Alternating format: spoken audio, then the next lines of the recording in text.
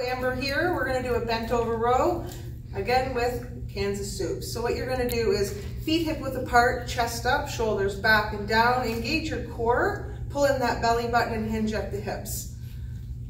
So here my chest is up, long neck, and I'm gonna pull my elbows up, squeezing my shoulder blades. Down and pull. Exhale up as you squeeze your shoulder blades.